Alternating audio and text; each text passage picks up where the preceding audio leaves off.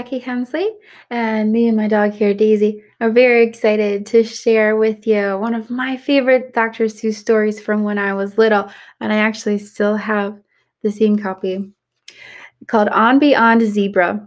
It is one of his longer stories, so find a comfortable spot and settle in, and I hope you enjoy it.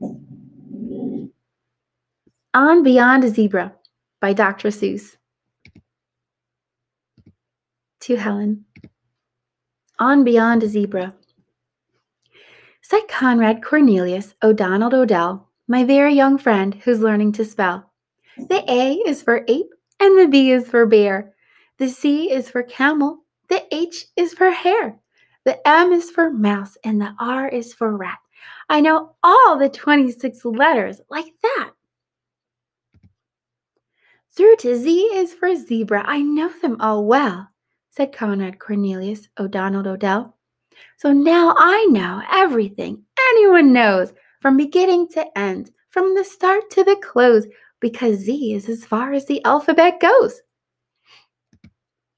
Then he almost fell flat on his face on the floor when I picked up the chalk and drew one letter more, a letter he never had dreamed of before. And I said, You can stop if you want with the Z, because most people stop with the Z, but not me.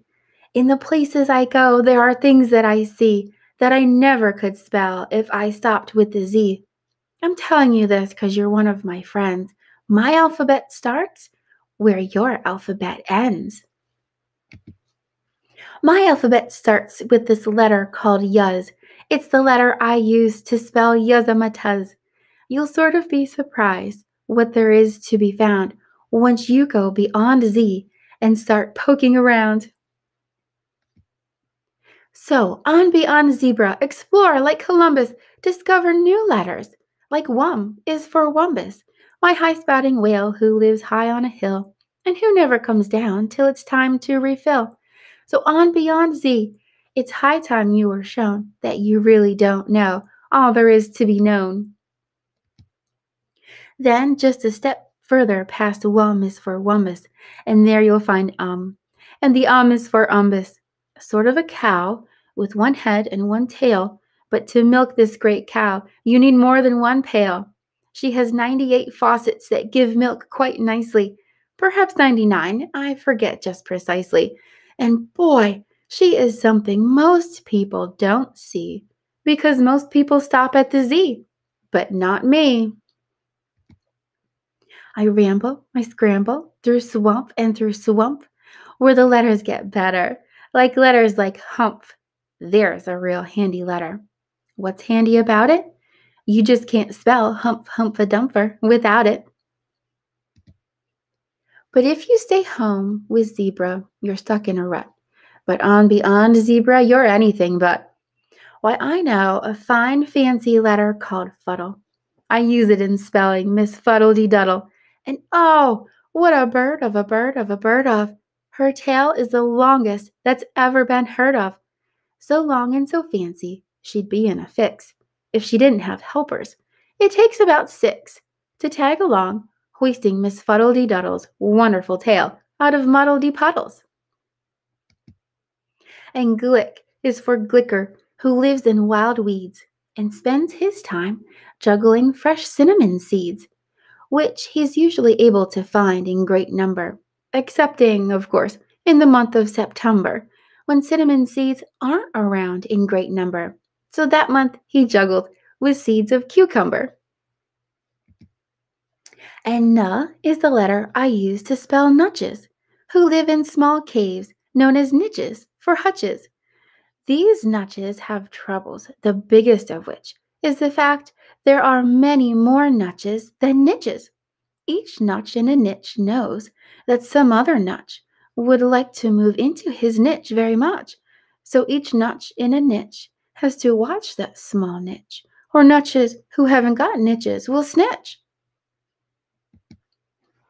Then we go on to snee, and the snee is for sneedle, a terrible kind of ferocious mosquito whose humdinger stinger is sharp as a needle. This needle's too tough to be killed with a smack, so he has to be hunted on elephant back and your eyes and the elephant's have to be keen, and you have to aim fast, and you have to hit clean, and the bullet you shoot is a stale navy bean that you've dunked for three weeks in old sour kerosene, which is awfully hard work, so it's easy to see why most people stop at the Z, but not me. When you go beyond zebra, who knows?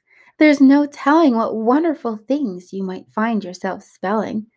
Laquan is for quandary, who lives on a shelf in a hole in the ocean alone by himself, and he worries each day from the dawn's early light, and he worries, just worries, far into the night. He just stands there and worries. He simply can't stop. Is his top side his bottom or bottom side top? And Thnad is for Thnadners.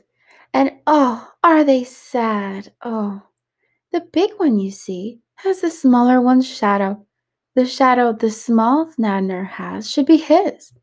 I don't understand it, but that's how it is. A terrible mix up in shadows. Gee whiz!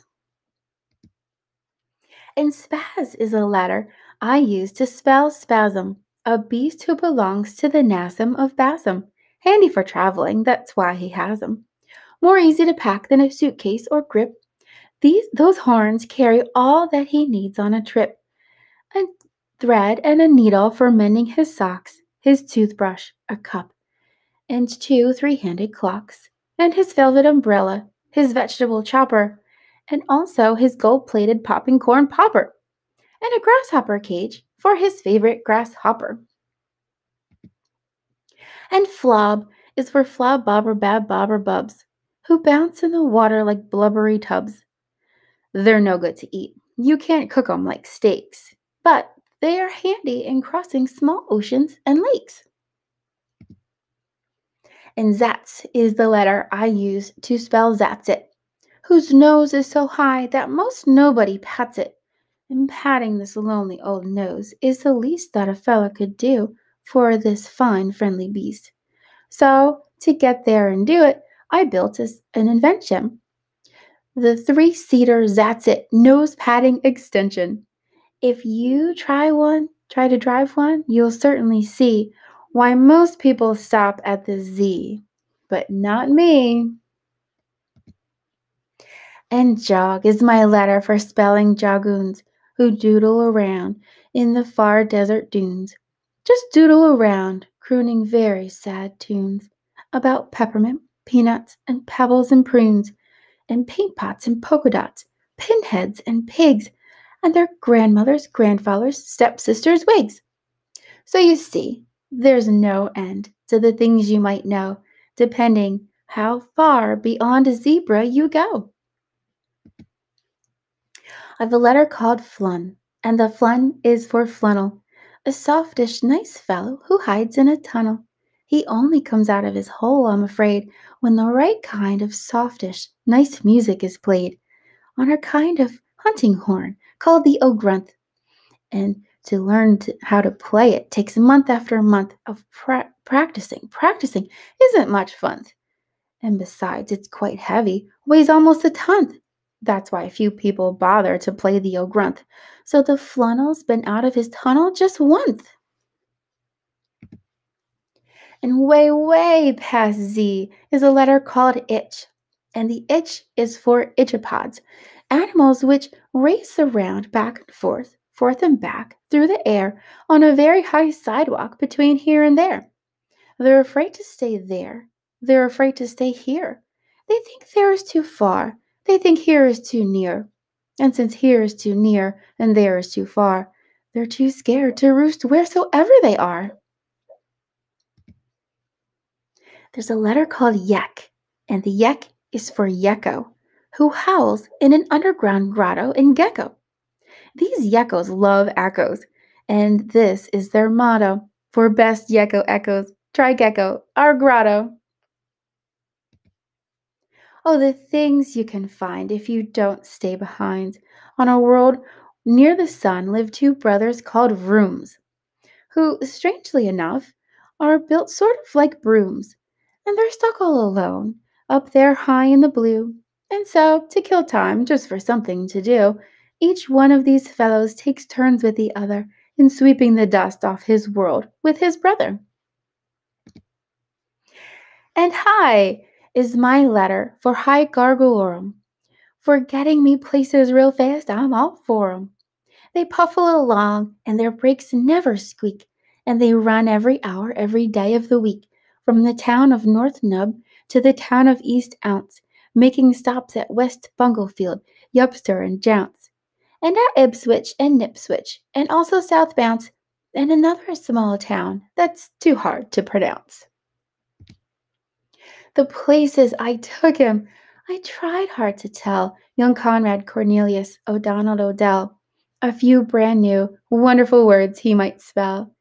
I led him around, and I tried hard to show there are things beyond Z that most people don't know. I took him past Zebra as far as I could, and I think perhaps, maybe, I did him some good. Because finally he said, This is really great stuff. And I guess the old alphabet isn't enough. Now, the letters he uses are something to see. Most people still stop at the Z, but not he. They give a list of letters for people who don't stop at Z.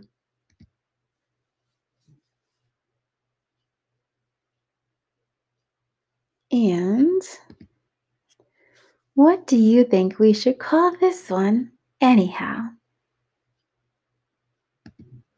The end. I do hope you enjoyed this story. I would love to hear your thoughts. Thanks for watching.